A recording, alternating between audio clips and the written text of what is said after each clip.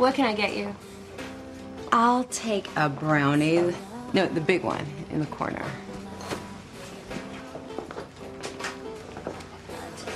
Dessert for breakfast. Must be a special occasion. Just got some good news. Care to share? Nope, don't want to jinx it. Okay, I can understand that. Congratulations. My mom always says to make time to celebrate the little victories. I like that. Maybe I should take your mother's advice and get something sweet with my coffee. Oh, yeah? What are you celebrating? I'll think of something. They must love you here. What do you mean? You throw out your first cup of coffee, then you get back in line for more. So either you love paying for bad coffee, or you did all that just to talk to me.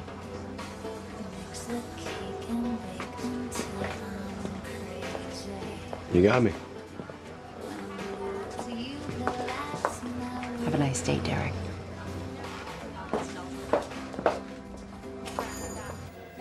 So wait, you knew your name? I don't know how I could forget a face like hers. You've been with so many girls you can't remember all their names? Oh, come on, are you surprised? This has never happened to me before. Hasn't happened to me before either. Well, it can't happen to you. You have an eidetic memory. And besides, you only got one name to remember. Okay, uh, six victims have been killed in a series of burglar homicides all over Central California. You guys have plans tonight? I was thinking about getting a burger. Oh, I could eat. Oh, hey, guys, I wanted to introduce you to someone. This is Agent Jordan Todd. She'll be taking over for me while I'm on maternity leave. Agent Jareau told me so much about you all. You must be Agent Prentiss? Yes, nice to meet you. Hello, Dr. Reid? Hi. And Agent Morgan. Nice to see you again. Nice to see you too. So this must be the um, good news. This would be my brownie. Uh, you two have met? Uh, briefly. Uh, well, Agent Todd comes to us from seven years at counterterrorism. I'm really looking forward to working with the Behavioral Analysis Unit. We're starting her training now. Training her right now? Well, we're kind of running out of time, so uh, let me introduce you to the rest of the team.